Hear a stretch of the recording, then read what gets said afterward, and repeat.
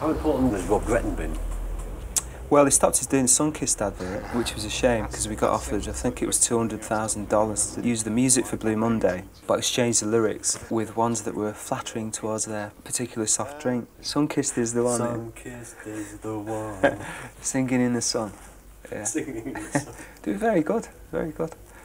So uh, what we did in the studio was that I had the lyrics on my lyrics stand, but on the mixing desk, had a big piece of cardboard with two hundred thousand dollars painted on it, right in front of me while I was singing the lyrics. But I just couldn't stop laughing.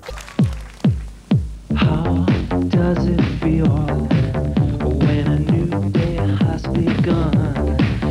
When you're drinking in the sunshine, Sunkist is the one. When you want to drink in the sun, there's only one. Go drink it in. Sunkist, regular or diet.